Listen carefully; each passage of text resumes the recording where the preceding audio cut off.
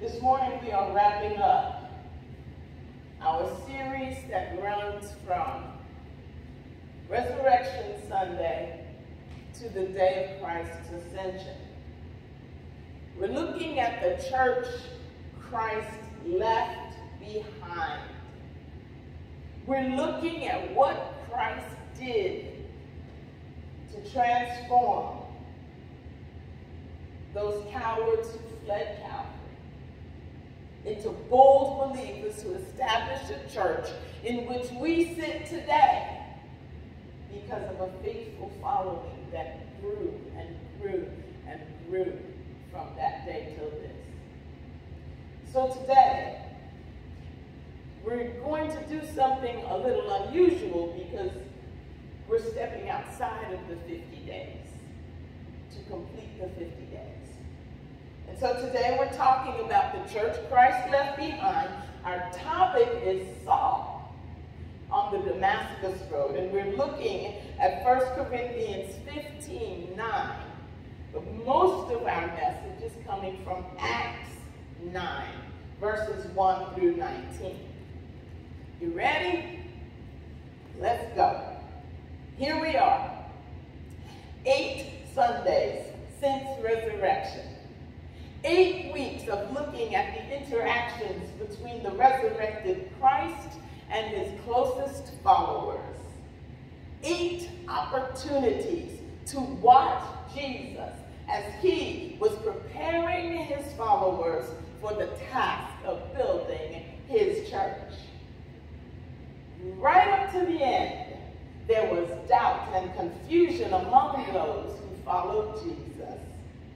As they stood together on the mountain in Matthew 28, just before Jesus gives them their great commission to go, make disciples, baptize, and teach. Matthew 28, 16 tells us they worshiped Jesus, but some doubted. It. Then it happened. We call it the day of Pentecost. Day of the outpouring of the Holy Spirit that left Christ's followers bold, focused, and empowered to cross uncrossable barriers with the message of life change brought about by Jesus Christ. The Church of Jesus Christ is off and running. The day of Pentecost made all the difference. So why am I bringing Saul of Tarsus in to close this series? I mean, after all, when Jesus ascended, Saul was not one of his followers. Even on the day of Pentecost, Saul does not become a follower of Christ. In fact, as the church began to grow, Saul spent great time and energy getting orders that would allow him to turn followers of the way, which is what they call followers of Christ, to turn them over to local authorities for imprisonment or worse. So why is Saul included in a series of messages about the resurrection appearances of Jesus Christ? We're going to look at Saul's entry into the story, which occurs um, in Acts 9, verses 1 through 19. Then, Saul breathing threats and murders against the disciples of the Lord, went to the high priest and asked letters from him to the synagogue of Damascus, so that if he found any who were of the way, whether men or women, he might bring them bound to Jerusalem.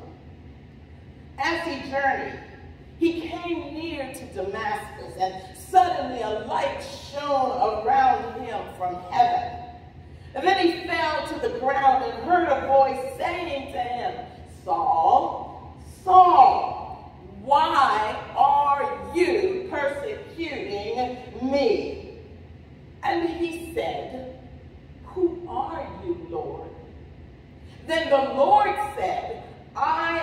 Jesus whom you are persecuting. It is hard for you to kick against the goads.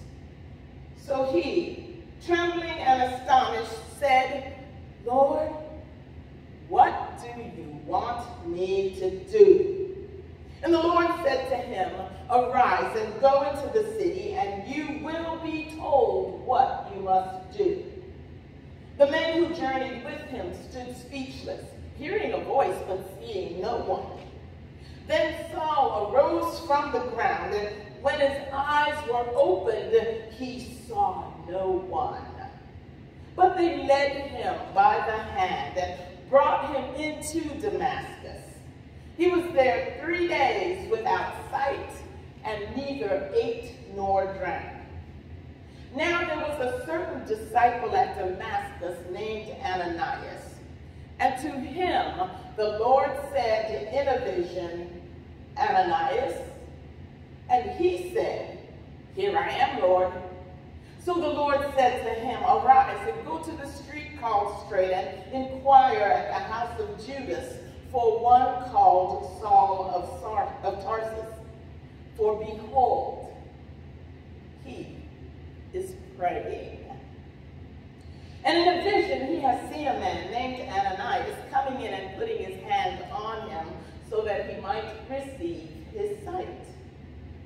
Then Ananias answered, Lord, I've heard from many about this man, how much harm he has done to your saints in Jerusalem. And here he has authority from the chief priest to bind all who call on your name.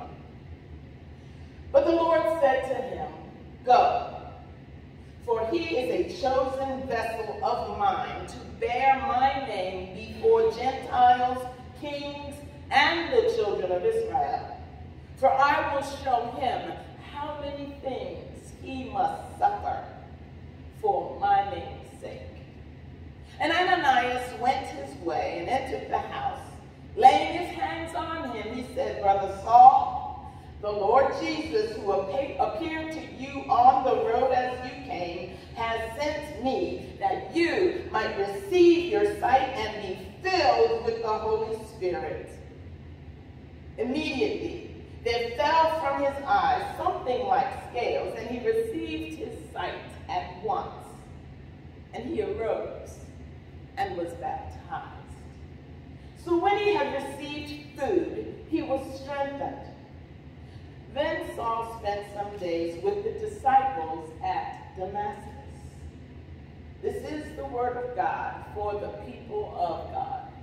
Thanks be to God. So I ask again, why is Saul on the Damascus road considered part of the church to whom Christ appeared after his resurrection preparing them to receive God the Holy Spirit who would empower them to take the gospel of Jesus Christ to the ends of the world. Well, there's one more verse. 1 Corinthians 15, 8. It is the ending of Paul's list of Jesus' undeniable resurrection appearances. And there it says, then last of all, remember this is Paul writing, he was seen by me also as one born out of due time. See, Paul counts his experience on the Damascus Road as one of the resurrection appearances. But this is what makes it so significant. Because Saul has so much in common with you and me. First of all, Saul was a man of much religious experience but his religious experience was still lacking something.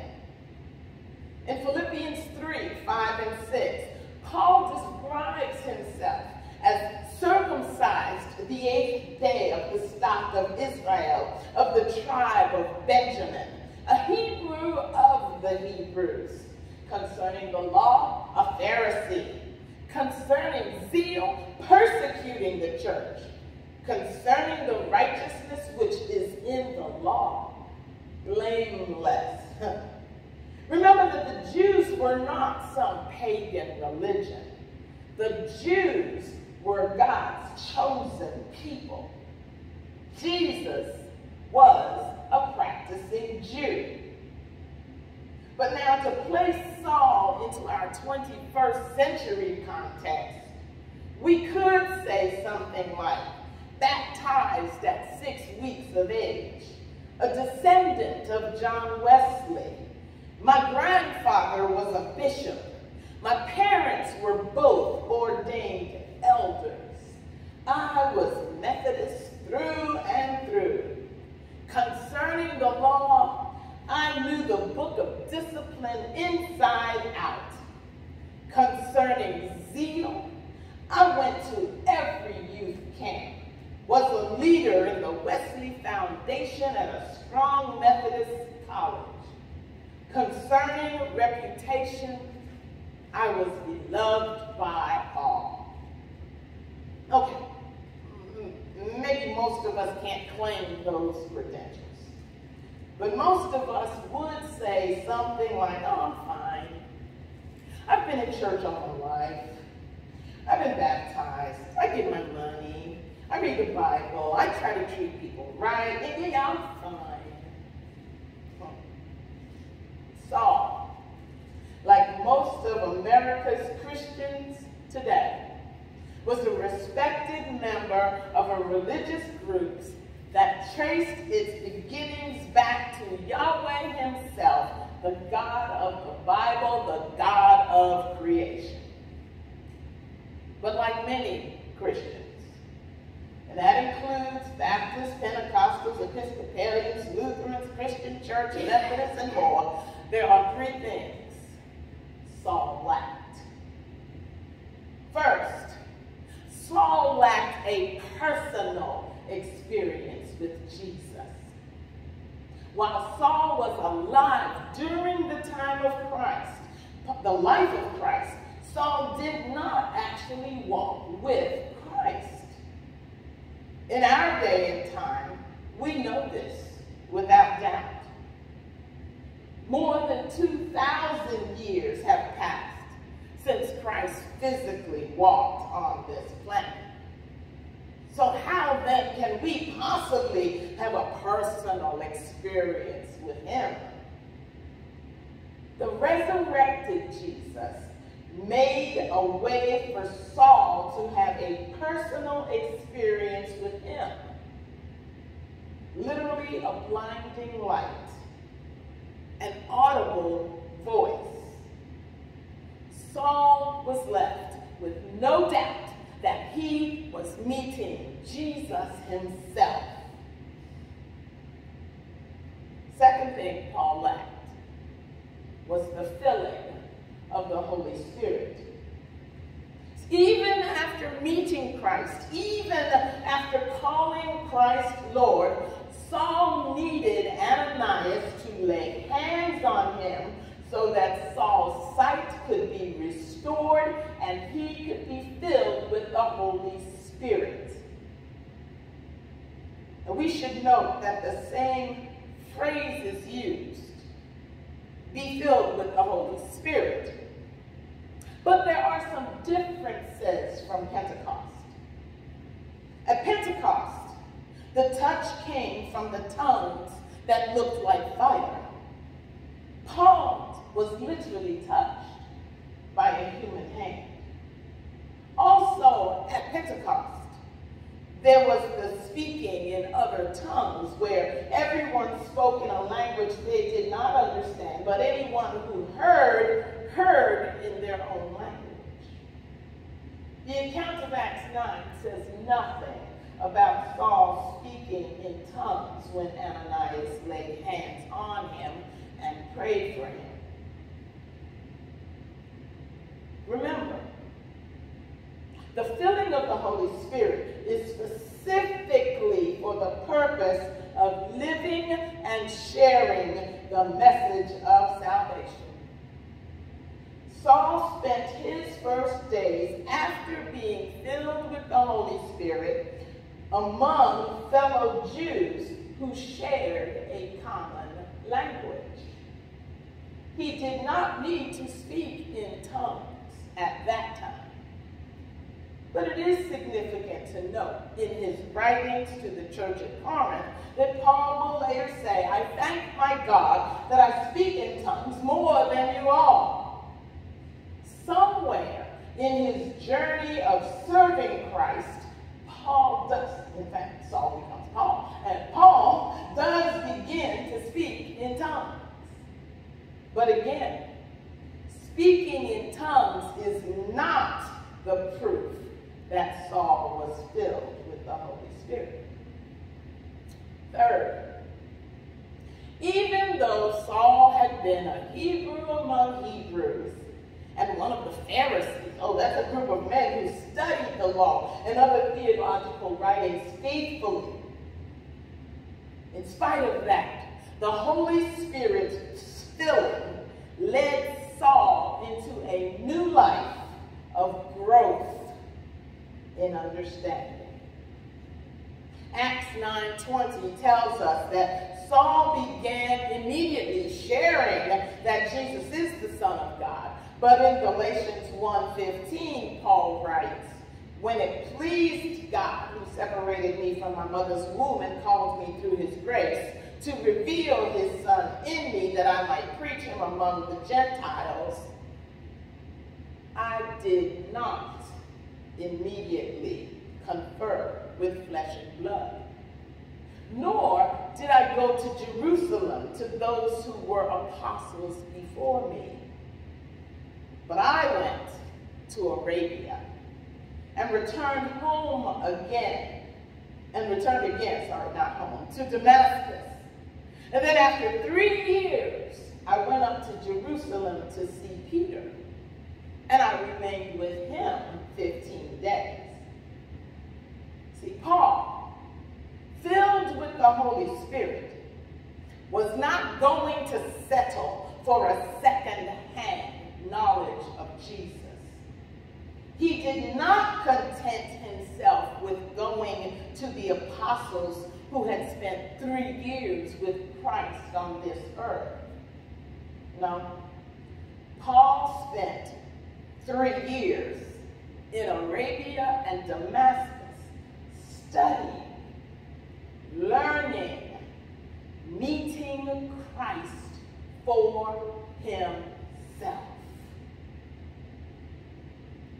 So, so why does this matter? What does Saul's experience on the Damascus road and those years following have to do with us today? Everything. Your walk with Christ, my walk with Christ, does not just depend on what happened to people 2,000 years ago.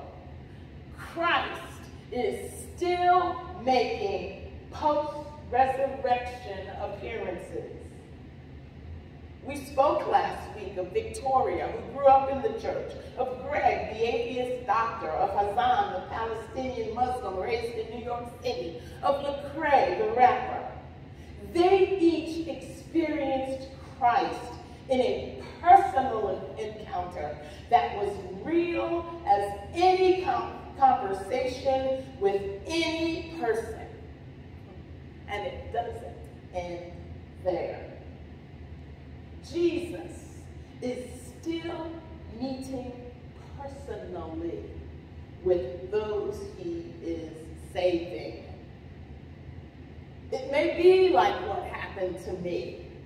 A voice that spoke, but only in the deepest part of my soul. It may be a deep sense of well-being. It may be a vision.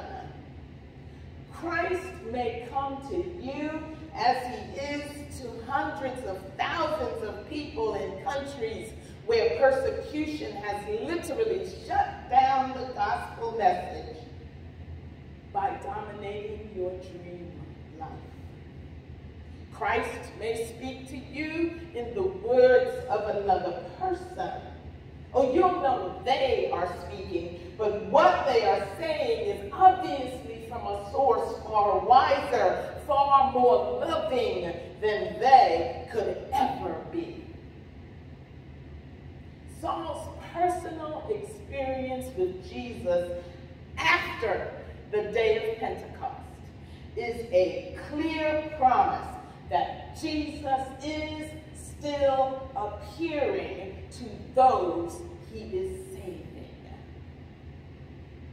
The second reason Saul's experience is significant is because it clearly shows that the Holy Spirit is still filling those who are being saved. That did not end on the day of Pentecost.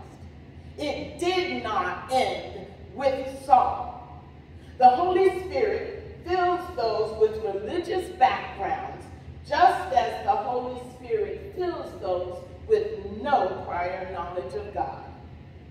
By the filling of his Holy Spirit, God is making good his promise of Jeremiah 31, 31, which he reminds the church of in Hebrews 8, 10, and 11. And here's the promise. God says, I will put my law in their mind and write them on their hearts, and I will be their God, and they shall be my people. None of them shall teach his neighbor and none his brother, saying, Know the Lord, for all shall know me, from the least of them to the greatest of them. It is the power of the Holy Spirit that took Saul, Paul, in, well, he took Saul into the Gentile world where he became known as Paul. It is the Holy Spirit that took Paul on journeys that fulfilled the Acts 1 8 promise. You will receive power when the Holy Spirit comes upon you, and you will be witnesses unto me in all Jerusalem, Judea, and Samaria, and to the utmost parts of the world. It is the power of the Holy Spirit that will fulfill that mission through us today. In our Jerusalem, West Point, Kentucky, we will be the place of God's peace and love in our own homes, our workplaces, our neighborhoods, for our family, for our friends, for those less fortunate, for those facing challenges of health and aging, through our lives and words, they will know that Jesus is real in our lives and that he wants to be real in their lives too.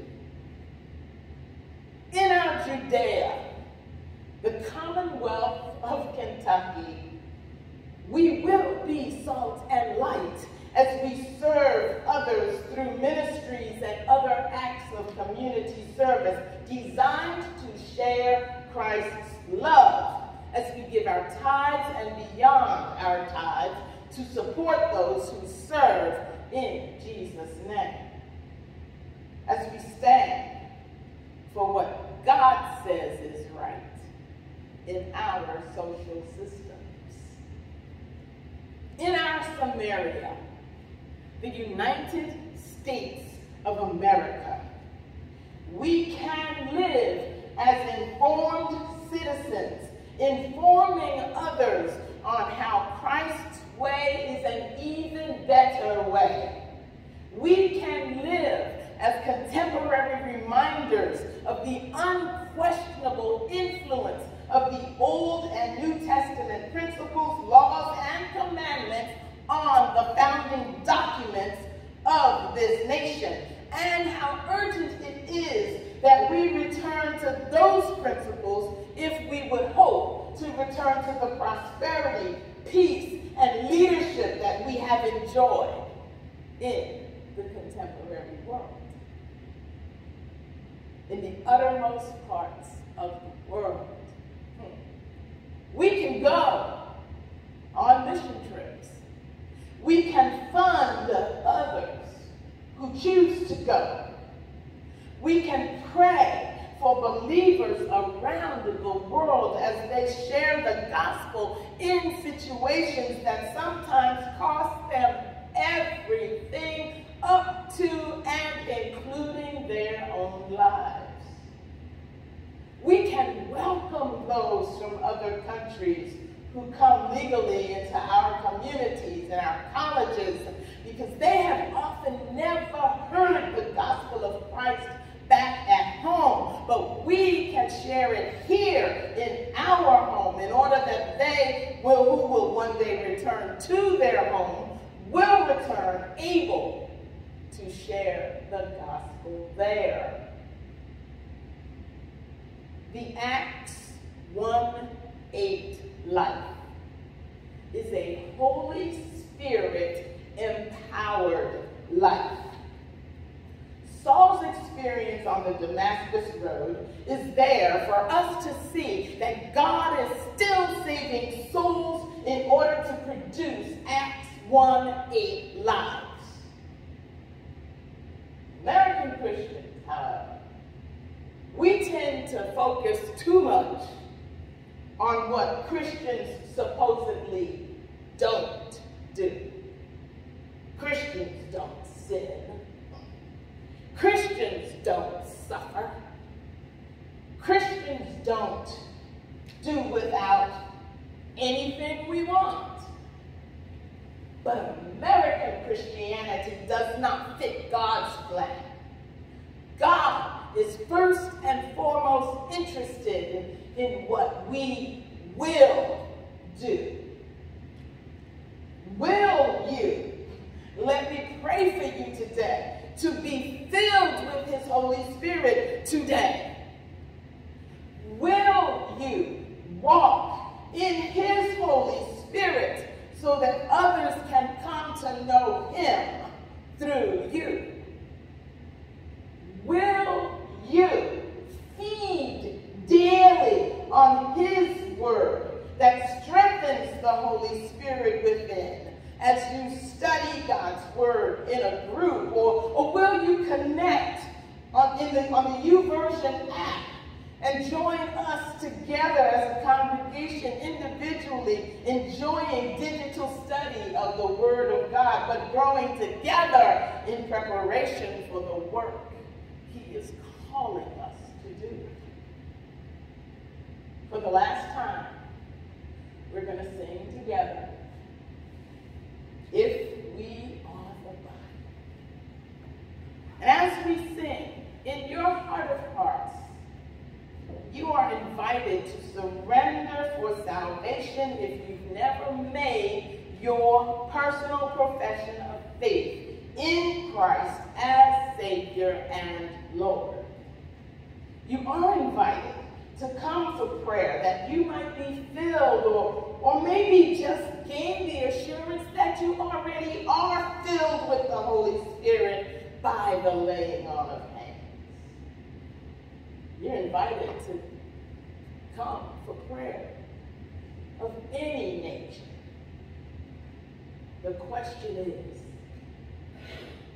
will you? As we sing. And sing, and over the phone, and any way it needs to occur, let's stop leaving room for doubt about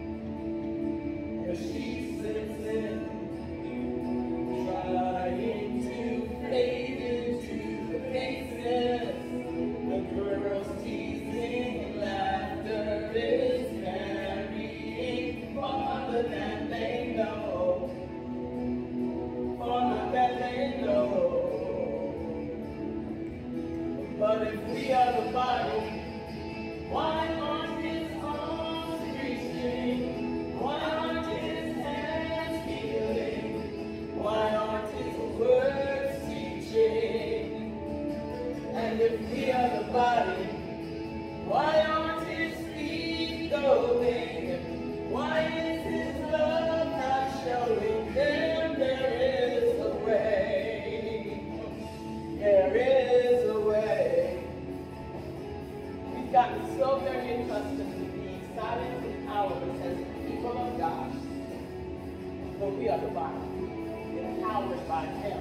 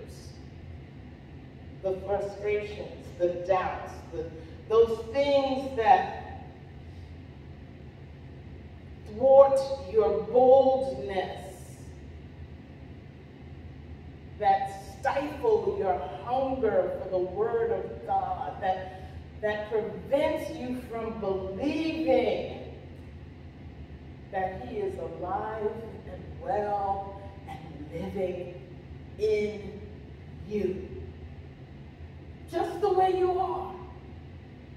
So we don't have to get perfect. Remember, Paul, the greatest apostle of all times. I don't know if y'all listen to these folks on the media. Sometimes they get stuff mixed up in, in some of these preaching processes. And, and they tell you if you have enough faith, you'll never be sick. If you have enough faith, you'll never have a problem. If you have enough faith, if you have enough faith, if you have enough faith. Well, I kind of think Paul had enough faith.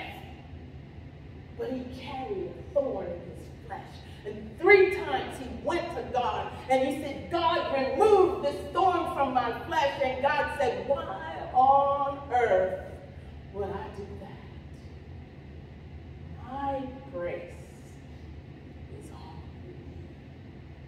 My strength is perfected in weakness. So that very weakness that we are prone to believe, Qualifies us from service is actually the power of God waiting to be unleashed through us if we will just take the steps he's calling us to take in his name. So Father God, I come this day thankful that your word is true. Not it was true, not it will be true. It is true. It, was, it is true 2,000 years ago when the apostles and that early church lived them. It is true today as we walk in this dark, confused, and hateful world. It is true on the day of Jesus Christ's return. And Father God, I just ask you to stir in our hearts. Call us to our next step with you. Call us to release all doubts. Call us to banish pride and fear. Call us to quash any spirit of disobedience and of, of hesitancy Father, just stir up in us the spirit of truth, which is your Holy Spirit. We need you, God. Oh, how we need you. The stuff that's going on in this world today is way bigger than us. And to you, it is tiny. We need you. And in return, you remind us that we are the body. Let our arms begin reaching. Let our hands begin healing. Let our words begin teaching. Let our feet begin going. May your love in us begin showing this world. And his name is Jesus. His name we pray. Amen. And as we leave, the words of the benediction from number six, they're yours. They are yours. May the Lord bless you and keep you. May the Lord make his face shine upon you and be gracious unto you. May the Lord lift up the light of his countenance upon you and give you his sweet peace. Now henceforth and even forevermore. Let the church say amen. Let the church say amen. God has spoken. So let the church say